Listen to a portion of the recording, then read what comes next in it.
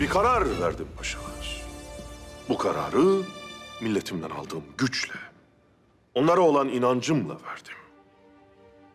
İdarecilerin en büyük gücü milletleridir. Onlardan aldıkları güçtür. Milleti arkasında olan bir hükümdarı kimse yıkamaz. İnşallah biz de huzuru hakim kılıp huzur bulacağız. Hünkârım, biz bu kadar belanın ortasındayken ancak ahirette huzur buluruz. Biz de onun için çalışıyoruz ya paşa. Gayretimiz onadır. Gayretimiz ondandır. Huzur da ancak onun emirlerine uymakta, onun yasaklarından kaçmaktadır.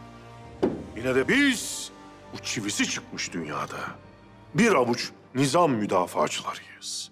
Hak, adalet, nizam bize hak emrettiği için kıymetli. Daha evvel söylemiştim. Memleketin başındaki bu duyunu umumiye belasını def etmemiz şart. Bir vakitler denize düşüp sarıldığımız yılan şimdi kanımızı emmekte. Bizi zehirlemekte. Bu borçlarımızı ödeyip bu belayı başımızdan def etmeliyiz. Siz sayın ki harp çıktı.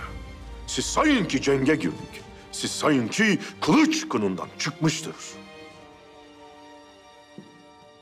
Bu yolda hataya tahammülüm asla olmayacak.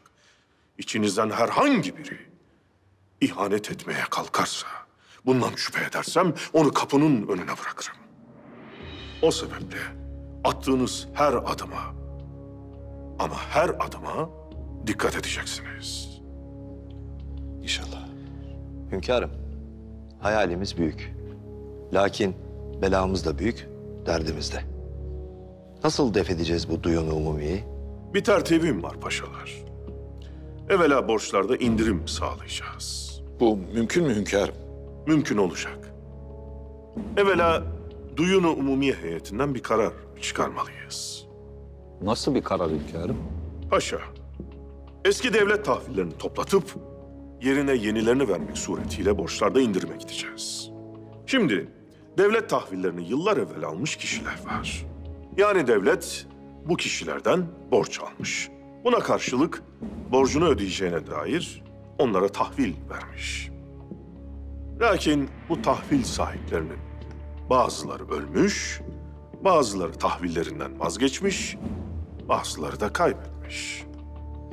Yani hünkârım yeni tahvilleri çıkarırken bir taraftan da eski tahvilleri toplayacağız. E, eski tahvillerden de tabii gelmeyen olunca borçlarımız düşmüş olacak. Aynen öyle. Lakin duyunu umumiyeden evvela bu kararı çıkarmalıyız. Hünkârım, duyun heyetindeki oylamada istediğimiz netice çıkar mı ki? Derdin büyük olduğunu siz söylemiştiniz paşa. Doğru.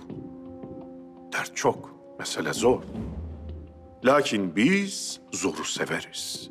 Zor bir dağsa, o dağa tırmanacak takat bizdedir. Evelallah.